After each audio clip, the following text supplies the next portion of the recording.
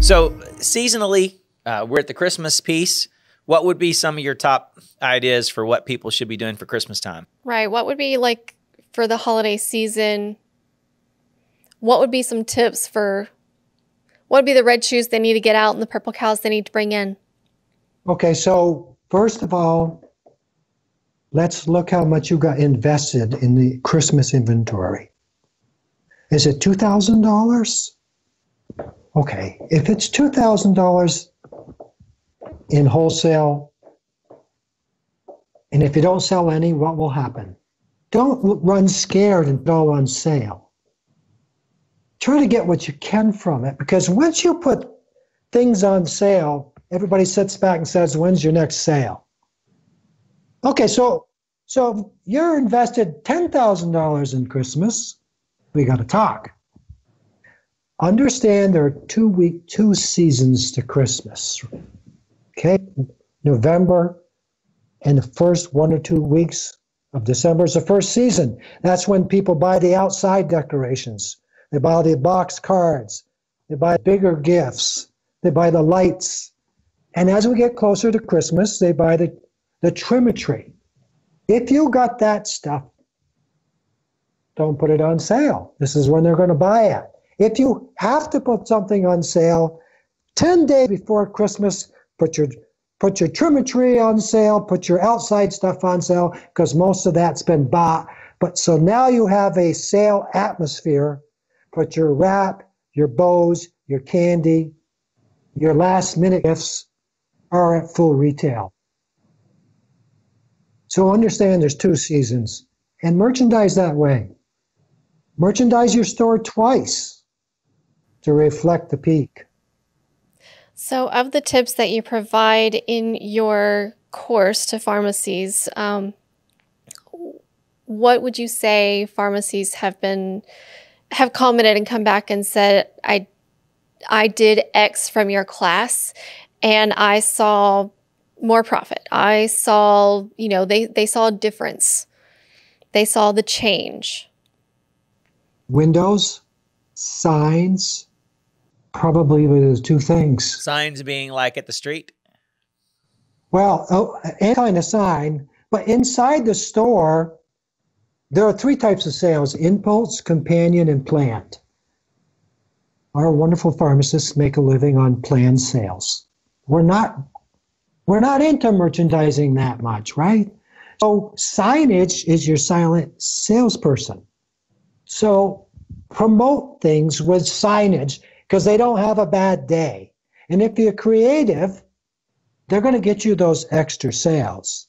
So once I get folks to start using signage to sell product. Now, I'll show you something. I don't know if you can see it. This is a sign holder. Okay, it's magnetic. You got to get one of these, whether you get the magnetic one or one that just sits on and the top rail of the fixture. And I want you to have one for every other four foot section on the gondola.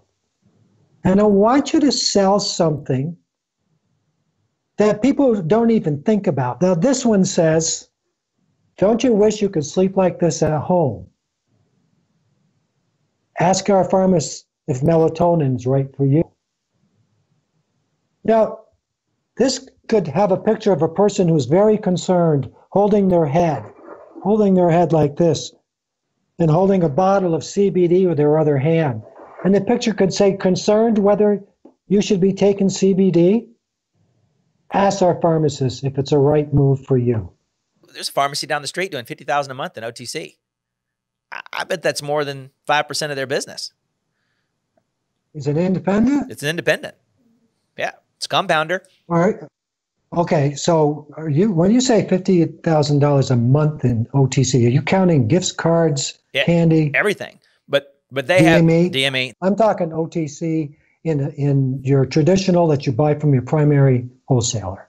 I'm not talking DME. They have a huge business in um, replacement. They're doing kind of what Chris Cornelson's doing and stuff, but where they're doing, hey, you're on this drug, you should be on this drug. They have a very structured. Okay um, nutrient depletion program. Uh, they're selling lots of vitamins at 50%, 100% profit. 50% margin, Yeah. 100% profit. Yep. Yeah. So every store needs one, at least one four foot shelf of our pharmacist recommends high end supplements. Yep. And here, and here's a tip. Because there, someday you and I got, we all have to talk about the myths that are stopping pharmacists from getting more business. And one of the myths is nobody has any money in my town, or everybody buys that on the internet. And the other myth is I can't sell anything for over 20 bucks. Pharmaceutical grade supplements are going to sell for 30 bucks and up.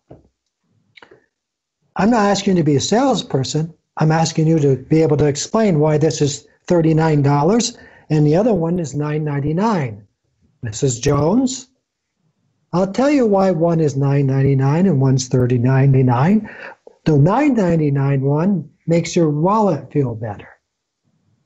And some people just want to tell, take a vitamin and tell their doctor, yes, I'm taking my vitamins.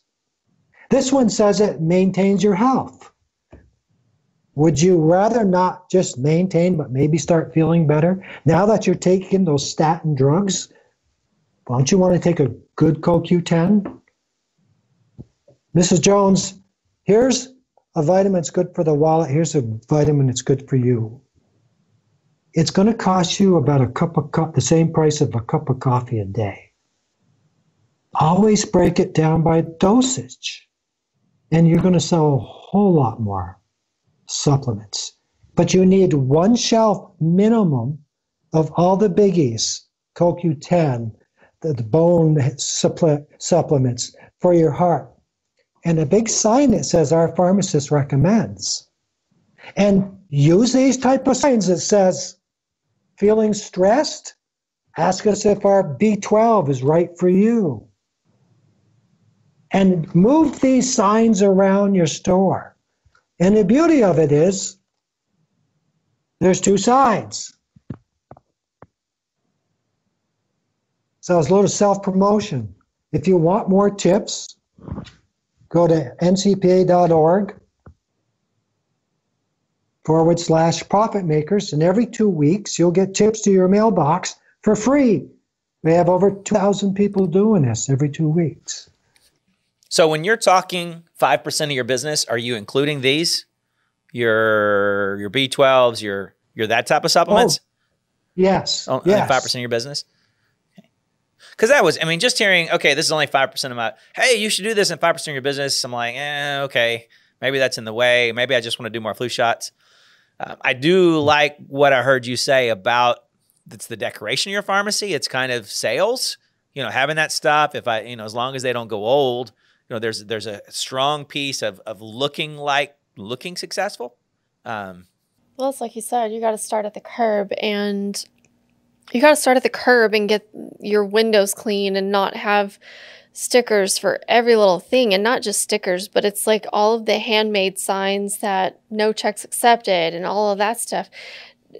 That could be at the cash register just to remind customers, hey, we don't accept checks. I'm sorry. Um, it's cleaning up the front end and making things more attractive um, so that way they want to come into the store.